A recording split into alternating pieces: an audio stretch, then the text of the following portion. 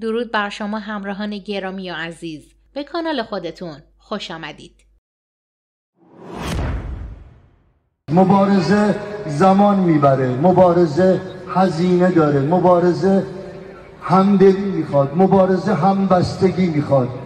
به خاطر آزادی ایران دور از هر عقیده دور از هر ایدئولوژی ما میپذیریم که آینده ایران آینده ایران باید رنگین کمانی باشه از تیپا و عقاید مختلف. درود به شرف بانوان ایران. درود به همه مردم قهرمان ایران. این روزها بیشتر و بیشتر همدیگر رو دوست داریم.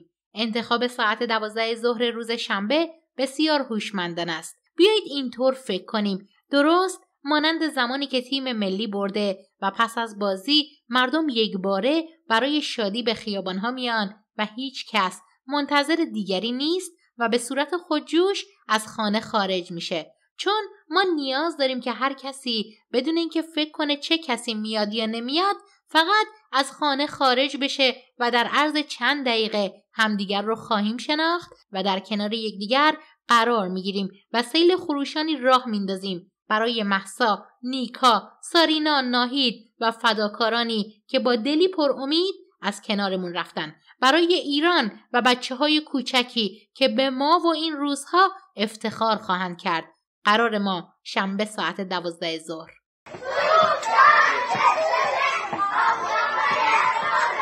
اگر حتی لحظه ای ناامید شدید بدونید که تمام ایران اعتراضات شروع شده. سلبریتی ها بازیگران و ورزشکاران و سیاستمداران بزرگ دنیا حمایتمون کردند در بیشتر از 120 شهر در کشورهای مختلف دنیا برای ایران راهپیمایی کردند رکورد هشتگ تاریخ رو شکستیم. دانشگاه ها و دانشجویان اعتصاب کردند و فقط 18 19 روز گذشته. یادتون نره که خود فتنه 57 هم از شهریور شروع شد و در بهمن منجر به انقلاب شد.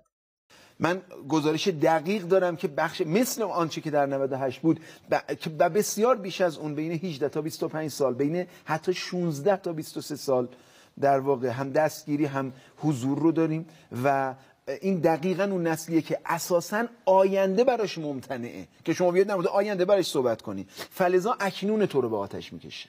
ببینید من کاری با این سه چهار شبه اخیر ندارم. این سه چهار شبه اخیر خیلی بیش از حد. آنچه که در شهرهای بزرگ متأثر از یلبریتی ها یا حالا سلبریتی ها و رسانه خارجی. ولی اونی که همزمان با این خبر اتفاق میفته اتفاقا یه خورده شدیدتر از ماجرای 98 متعلق به طبقه متوسط پایینه. برای همین شما شهرستان هایی مواجه هستید در شهرهایی مثل ایلام شهرهایی حتی در استان کردستان. این خیلی خیلی مهمه. درسته که یه در یکی از مصادیق ابتزال توی شرایط فعلی اینه که یک عرض شود مثلا رهبری این حرکت رو مثلا یک ورزشکار به عهده بگیره. البته ورزشکاران رو سر منجا دارن ولی واقعیتش اینه که خب سطح مطالعات یا سطح اندیشه اونا بعد. جوکر و بازی مرکب و قص الهازا به نوجوان و جوان ایرانی در این رژیم مصرف رسانه‌ای میگه که خیابان رو به آتش بکش. یکی از فرماندهان وطن پرست یگان سرکوب سپاه دستورالعمل مقابله با نهادهای امنیتی رو اینگونه فاش کرد. او گفت که گروه های سرکوب معمولا در هر منطقه چنین ساختاری دارند نیروهای انتظامی نیروهای یگان امداد نیروی انتظامی و نیروهای یگان ویژه نیروی انتظامی و همچنین نیروهای پلیس راهور برای رفع ترافیک یا راهبندان در خیابانها و لباس شخصی های اطلاعاتی و نیروهای کمکی از پلیس آگاهی و پلیس مبارزه با مواد مخدر. لباس شخصی های نظارتی اهم از حفاظت اطلاعات عقیدتی سیاسی و بازرسی نیروی انتظامی همه این نیروها در آن منطقه تحت فرماندهی یک نفر به عنوان فرمانده میدان عمل می کنند که دستورات رو یک نفر صادر می‌کنه و در مرحله اول نیروهای انتظامی وارد عمل میشن و سپس نیروهای یگان امداد و در نهایت یگان ویژه. در این حالته که به وضعیت انتظامی معروفه و نیروهای بسیج و سپاه در نقطه دیگری منتظر درخواست کمک نیروی انتظامی هستند که با درخواست آنها وارد عمل میشن اما مرحله بالاتر که وضعیت امنیتی سپاه فرماندهی رو عهدهدار بوده و نیروهای انتظامی به ویژه یگان ویژه تحت فرمان سپاه قرار می‌گیرند و بنا به اختلافات معمولا چنین کاری نکردن و مثلا یک شهر رو دو قسمت کردن و امنیت هر قسمت رو یکی نیروی انتظامی و دیگری رو سپاه بر عهده می‌گیره. یگان سرکوب سپاه نیز متشکل از گردانهای امام علی که همان یگان ویژه سپاه بوده و لباس شخصی ها که اعم از نیروهای کادر سپاه و نیروهای اطلاعاتی و بازرسی و حفاظت و مهمتر از همه عرازل اوباش سازماندهی شده توسط سپاه هستند و معمولا تنها سلاح گرم در اختیار نیروی انتظامی تفنگ ساچمه زنه و تفنگ جنگی در اختیار ندارند و این نیروهای سپاه هستند که مسلح به سلاح نبردن و در یگانهای ویژه نیروهای یا سپاهیان در دسته های 34 نفره سازماندهی میشن و در نهایت با توجه به گسترش تجمع به سه گروه نه نفره تقسیم میشن و کمتر از گروه نه نفره عمل نمی‌کنن. موتور سواران یگان ویژه یا سپاه نیز در دسته های 36 موتوره بوده که با گسترش اعتراض نهایتا به چهار گروه نه تایی تقسیم میشن. این فرمانده وطن پرست در ادامه میگه که دوستان عزیز و همرزمان گرامی رعایت برخی موارد به پیروزی بر دشخیمان رژیم خیلی کمک خواهد کرد لذا برخی از این مطالب رو خدمتتون عرض می‌کنم اول اینکه تو این چند روزه ملاحظه فرمودید که نقش روغن سوخته یا گازوئیل در واژگون کردن موتورسیکلت های سرکوبگران چقدر نقش داشته حتما ادامه داده بشه. دوم اینکه در مواجهه با موتورسواران در مرکز اونها قرار نگیرین. بایستی به کناره های خیابان رفت و به محض رسیدن موتورسواران اونها رو محاصره و خل اصطلاح کرد. سوم اینکه با خروج از منزل سیمکارت گوشی رو در بیارین و گوشی در حالت پرواز قرار بگیره و موارد مهم رو از گوشی حذف کنین و چهارم اینکه سعی بشه دستگیر شدگان آزاد بشن و چنانچه موفق نشدید به هیچ وجه چیزی رو امضا یا تایید نکنید. پنجم اینکه بدنه ارتش و نیروی انتظامی و حتی سپاه منتظر فرصت مناسبه این فرصت مناسب افزایش جمعیت در خیابانه تا به مردم بپیوندن. پس هرچه بیشتر در خیابان ها باشیم. هفتم در مواجهه با سرکوبگران بیان اینکه مسئولین با پولهای کشور فرار کردن اونا رو تحت تاثیر قرار میده. هشتم در صورت فرار سرکوبگران اونا رو دنبال نکنید چه بسا تعداد زیادی نیرو در آن طرف منتظر شما باشند نهم از حمله به آنها با کمتر از هفت نفر به بالا پرهیز کنید. دهم یک بطری کوچک محلول آبنمک همراهتون باشه. اگر مأمور با شکر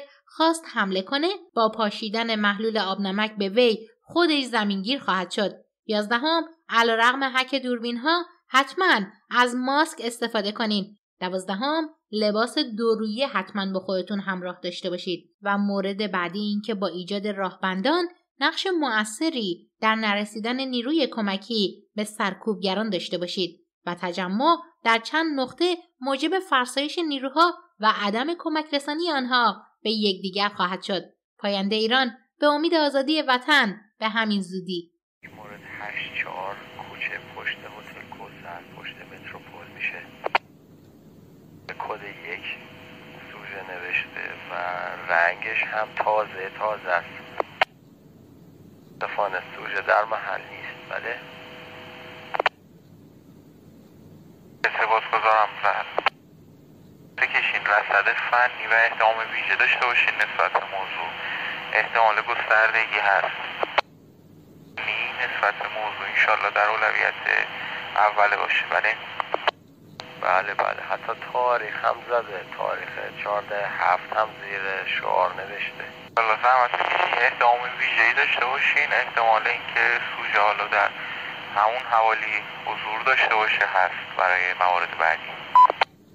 بررسی شده اطراف متاسفانه سوژه نبود. اگر رویت شد خدمت اعلام میشه. ممنون.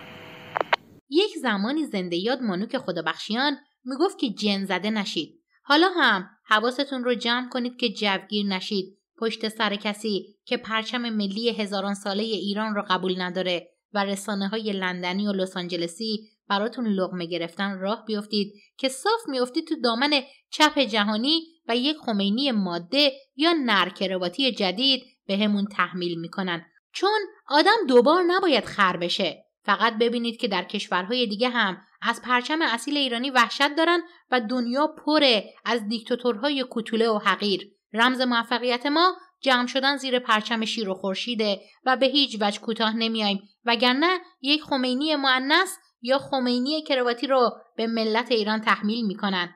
یک شعر از عبید زاکانی هست که میگه مجدگانی که گربه طائب شد زاهد و عابد و مسلمانا. ایشون سلامی از نظر عقلی هم توازن عقلی نداره چه برسه به توازن کلامی. و بنابراین وقتی حرف می‌زنی بیشتر مایه فکاهی و جوک هست و بیشتر دلاو راست شدن خم راست شدن در برابر خلیفه دوم یعنی خامنه‌ای این هم جایگاه و پایگاهی به ایشون نخواهد داد. خودشون هم می‌دونن که امنیت مطالعات امنیت علم هست باید اون رو آموخت و در واقع با تجربه و دانش بشه اون رو پیدا کرد. با تروریسم هم نمیشه که موافقت کرد و الان جدیدا هم مثلا شما دقت بفرمایید شگرد اطلاعاتی حضرات برای حذف همدیگه به قول خودشون فرستادن پرستوهاست. در کجای مطالعات امنیتی ما همچین چیزی رو داریم؟ در کجای مطالعات امنیتی ما به این بررسی می‌کنیم که مثلا برید فرانسه یک شخصیتی مثل دکتر سیروس الهی رو. شما ترور بکنید بعدش رو بذارید موفقیت. در کجای جهان هست که مثلا دکتر سعید سیرجانی رو به شهادت برسونید در داخل ایران؟ یک عالم ادبی به خاطر اینکه مثلا یه مقاله رو علیه خامنه ای نوشته. در این جای جهان ما همچین چیزایی رو واقعا سراغ نداریم. یعنی حتی در گروه های بربر در افریقا که در توحش مثلا زبان زد هستند در قرن 18 هم 17 هم واقعا یا چیگین های دوران صفوی که آدمخوار بودن هیچ کدومشون همچین جنایاتی که الان داریم می‌بینیم رو واقعا در کارنامهشون ندارن. از نظر تاریخی این مشکلی است که متاسفانه این مشکل بعد از جمهوری اسلامی هم تا سالهای سال ادامه پیدا خواهد کرد. چون دمل چرکی وقتی که به ترکه ایجاد عقده شخصی می‌کنه و ایجاد تصفیه حساب شخصی. و این افراد به این چیزها توجه نمی کنن و با ذکر اوهام صرفا در پی ترویج خرافات و موهومات هستند و تصورشون بر آن هست که این خرافات و موهومات می‌تونه به یک اندیشه در نسل جوان تبدیل بشه که تبدیل نخواهد شد. و اندیشه جوان در واقع الان بررسیش بر این هست که چجوری میشه از این مهنت کرده رها شد. و بنابراین سازمان های اطلاعاتی امنیتی در ایران نه تنها حافظ مصالح و منافع ملی ایران نیستند بلکه متاسفانه بر باد دهنده مصالح و منافع ملی ایران هستند. جان کلام این که خبرگزاری میزان نوشته که سارینا اسماعیل زاده هم خودکشی کرده و از ارتفاع سقوط کرده. یعنی همان روز که مردم در خیابانها تیر و باتوم میخوردن جمعی از جوانان ایرانی دچار سندروم سقوط از ارتفاع شدند ای کاش قبل از شنیدن زجه های شما کشندگان زندگی و زیبایی. نمیریم. بهترین ها رو برای تک تکتون آرزو دارم. روز و روزگارتون خوش.